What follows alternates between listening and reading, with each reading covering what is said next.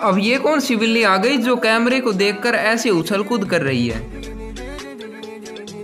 लेकिन ये तो सही है उछल कूद, लेकिन इस बेचारी को कैद क्यों कर रखा है? दरअसल आपने कुंफू पांडा तो देखा ही होगा। उसमें सबसे खतरनाक विलन यही बिल्ली है। इसका नाम है स्नो लेपर्ड। वैसे इसके नाम से आपको लग रहा होगा कि ये बर्फ़ में रहने वाला कोई तेंदुआ यानी लेपर्ड है। लेकिन ऐसा नहीं है, रियलिटी में ये लेपर्ड से ज़्यादा टाइगर के क्लोज रिलेटिव है। इस स्नो लेपर्ड के नाम से आप जान गए होंगे की ये पहाड़ी बर्फीली इलाकों में रहता है, जिस वजह से इसने थिक फर की लेयर डेवलप कर ली है, जो की इसे बर्फीली हवाओं से बचाता है। लेकिन दुख की बात है की आज ये कुछ ही बचे हैं। ये आपने देखा होगा, इन्हें कैद कर रखा है, लेकिन ये कैद नहीं, इन्हें प्रोटेक्शन देने के लिए रखा गया है। क्योंकि आईयूसीएन द्वारा ये हाईली इंडेंजर स्पीसीज है, जिसकी जंगल में पॉपुलेशन केवल चार हज़ार ही बची है। इसके पीछे रीजन है कि इंसानों ने बहुत से इसके इलाकों को कब्जा लिया और शिकारी इसे देखते ही गोली मार देते हैं।